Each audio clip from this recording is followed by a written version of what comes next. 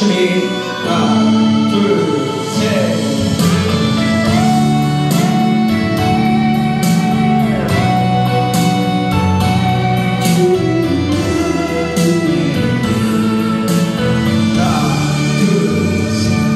어제가 밤사이에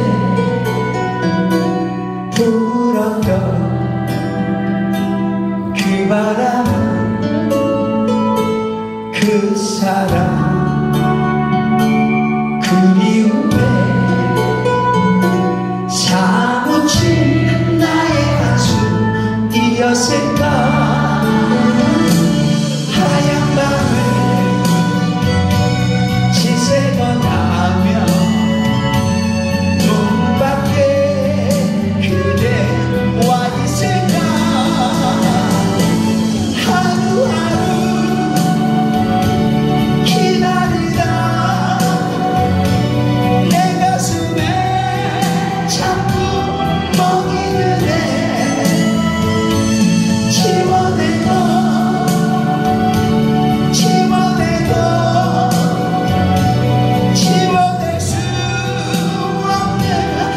acontece.